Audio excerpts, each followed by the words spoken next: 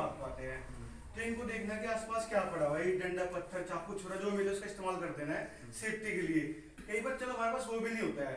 फिर जो हमारे जो अपने नेल्स हो गए कोहनी हो गई पंच हो गए घुटने हो गए इससे वार कर सकते हैं। अब देखना जैसे टच करने जा रहा हूँ तो क्या कर सकते हैं? एक रेंज होती है। एक मिनट रुक जाओ। तो ये तो टचिंग रेंज हो गई। क्लोज रेंज आ गई। बट अब दूर से क्या कर सकते हैं? मैं तो पकड़ने जा रहा हूँ जिसके पास गया ये नीचे किक मार सकते हैं। ऑप्शन क्या है? स्लो मोशन जैसे भी थोड़ा हार्ड हिटिंग पहले स्लो करेंगे। मैं तो छेड़ा जा रहा है नीचे किक खुली ऐसे लाइक दिस अगर ये इम्पैक्ट ऐसे जारो किक नीचे पड़ जाए तो सामने वाला उठेगा नहीं। फिर से करेंगे हमारा। इस तरीके से। ये हो गई थोड़ी लॉन्ग रेंज हो गई। उसके बाद फिर और क्लोज रेंज में आ गया सामने वाला आ गया है। ये रेंज हो गई है। इसके बाद में उसके आप ना हाथ जैसे पकड़ने के लिए आ रहे हैं तो आप आँखें, ये आँखें स्क्रैच कर सकते हो, चीर सकते हो वो, पकड़ घुटना वगैरह नीचे मार सकते नीचे। ध्यान से ठीक है? जैसे कई होते लड़के पकड़ भी ले ऐसे करके ना, जैसे जकड़ लेते हैं। अब लड़के क्या करते छोड़ो प्लीज़ छोड़ो, ऐसे ना, ये हो जाता है। डर जाते डरने की ज़रूरत नहीं उसको बोलो, लड़के को पकड़ कर थोड़ी देर मुझे अच्छे से। ऑप्शन क्या है, आँखें वगैरह मोच सकते हैं। ये तो जैसे कि यहाँ पे जैसे कि मैं लड़के ऐसे आँखें वगैरह निकाल सकती है ये बहुत सिंपल ट्रिक्स होती है।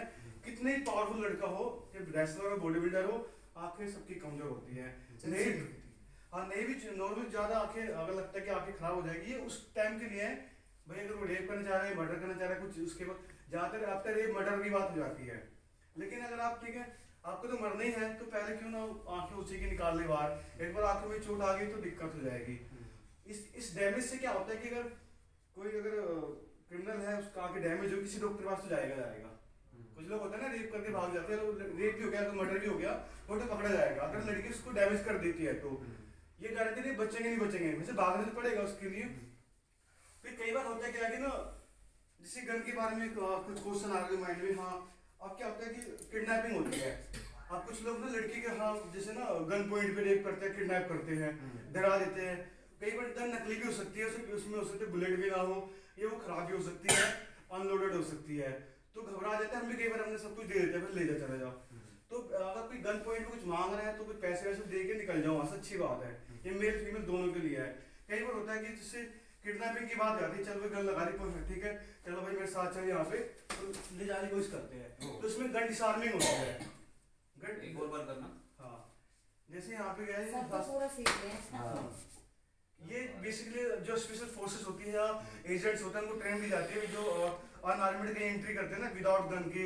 लेकिन आतंकवादी क्रिमिनल के पास गन होती है, उनसे गन कैसे लेनी है? इसमें कुछ ट्रिक्स होती है, जिसमें क्या करते हैं कि हम लोग, जैसे गन फेस पे लगाई गई है, इसमें गन का इसका जो फायर लाइन का डायरेक्शन चेंज करते हैं ठीक है? जैसे वंस मोर ठीक है? सामने जो जो अटैकर उसकी तरफ़ गन को टर्न करते हैं। फिफ्टी फिफ्टी चांस क्या होते हैं? जब यहाँ पे होल्ड करते हैं ग्लोक है गन है तो अगर एक सिंगल फायर होती है बस। सेकंड फायर के लिए उसको एक फोर्स चाहिए होता है हम्म। वो फोर्स बनेगा नहीं।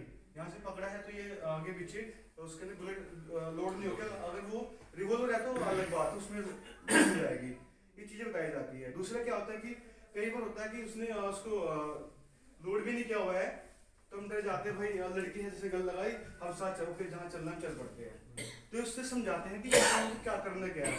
तो कई बार होता है कि इस पे बंद कर दो और बनाओ।